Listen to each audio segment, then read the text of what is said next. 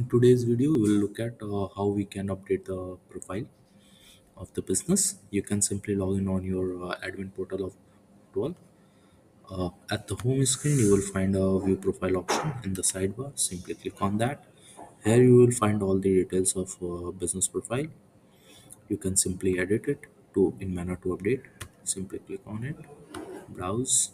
Okay, let's set this one. I have this uh, logo need to be uploaded on the business.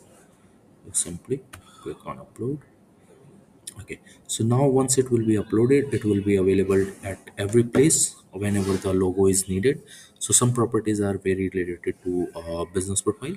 Okay like the headquarters address okay uh, the contact info the email address and everything. Whenever you wanted to change and update you can always do it from here thank you for today